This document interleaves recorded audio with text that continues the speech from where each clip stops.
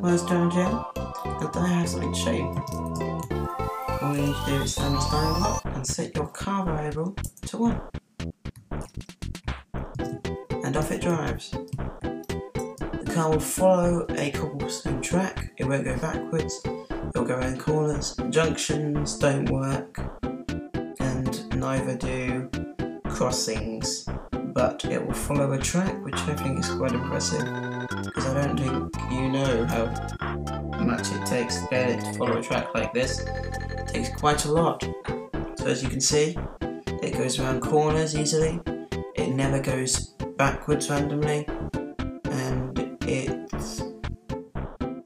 moves along quite nicely. The way I can make any sort of track, I can make one on video right now. You can download it make your own. There can only be one car at a time, unfortunately. In the world, you can't have a race between two of them. And if you did, it would be kind of boring because they're both moving at the exact same speed. I. Quite useful. I don't think it's useful for anything really. But, um, funny little driving mini game. And when it gets under the gold block, it will say finish and it will stop.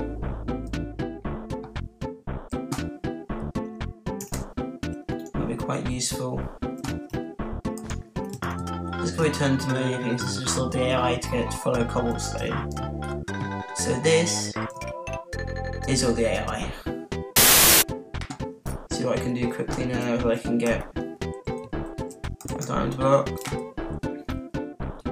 If I can get a cobblestone block here, let's get it to go all the way around.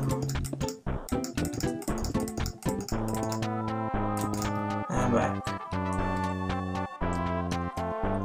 Can change it what it is. So let's change it so that's a diamond block for now.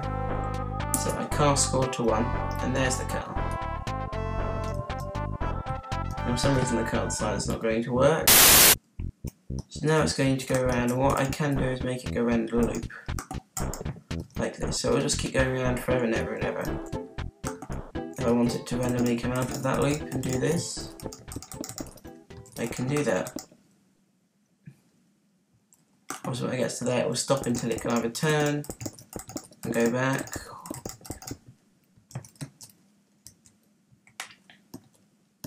Maybe I don't want it to do that. Maybe I just want it to go like this and back and around. See, here it comes to a junction where I have no idea which way to go, so I'll just normally choose one of the ways. Here it comes to another junction. It will normally go. See, sometimes it will glitch like that at junctions. This is why junctions aren't very good. It's because it will glitch. Like that. And just end up going backwards, which is why junctions are not preferred. Okay, so now, when it finds an iron block above its head, it will now turn around and go backwards. So I think that's pretty clever logic. Also, but if it finds it not at the end of a road, I believe it will just continue on going, yeah. So it has got to be the end of a road for the guard to stop, find it, turn around and go backwards. So what we could decide to do is this. And it wouldn't end up going anywhere because it would have to like continue turning around. But this, I think, seriously, is just fun to play with mainly. I mean, I could, let's just get it, fin let's just let it finish.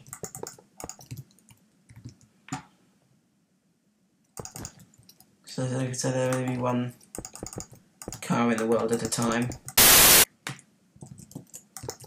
As you can see, endless possibilities from the car.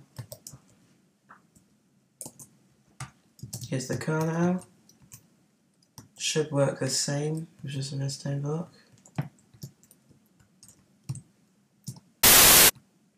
So at that, I'm back. Okay, so now after building this simple redstone contraption,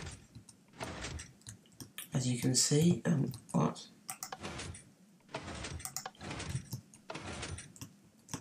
Oh.